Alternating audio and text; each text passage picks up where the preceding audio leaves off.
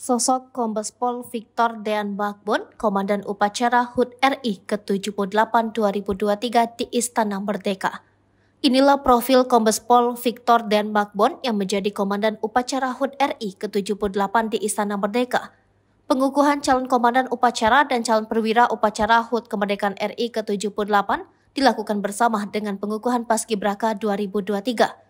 Kombes Pol Victor dan Makbon sempat terlihat menemani Presiden Joko Widodo yang menjadi inspektur upacara dalam pemeriksaan kesiapan pasukan. Kombes Pol Victor dan Makbon sendiri saat ini menjabat sebagai Kapolresta Jayapura Kota.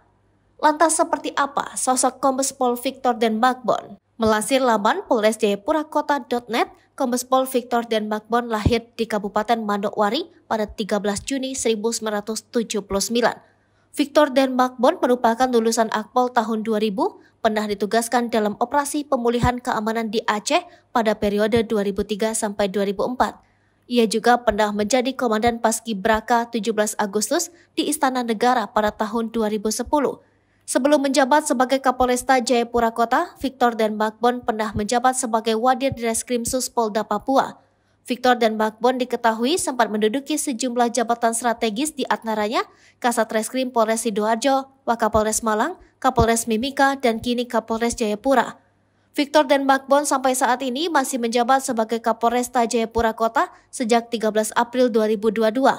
Perwira kelahiran Manokwari ini dikenal sebagai anggota Polri yang memiliki sederet prestasi.